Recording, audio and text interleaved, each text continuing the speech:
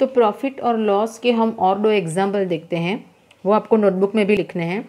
A junk seller buys newspapers for five rupees per K G and later sold ten K G of newspaper for hundred rupees did he has profit और loss तो junk seller ने newspaper खरीदे हैं।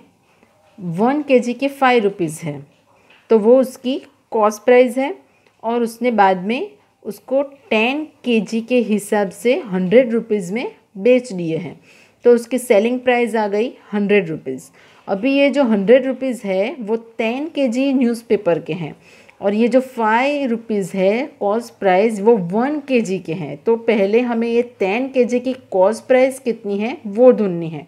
तो उसके लिए चलिए अभी क्या करते हैं, one K G newspaper is equal to five rupees तो ten K G news paper के कितने हो गए cost price ten K G multiply five rupees तो फिफ्टी रुपीज़ कॉस्ट प्राइस आ गई okay fifty rupees cost price आई और selling price थी हंड्रेड रुपीज़ तो हमें मुनाफा ही होता है क्योंकि सेलिंग प्राइस ज़्यादा है तो प्रॉफिट की फॉर्मूला अभी देखते हैं। Profit is equal to S P minus C P तो hundred minus fifty fifty rupees, हमारा प्रॉफिट हो गया फिफ्टी रुपीज़। तो आंसर लिखेंगे, a junk seller had fifty rupees profit.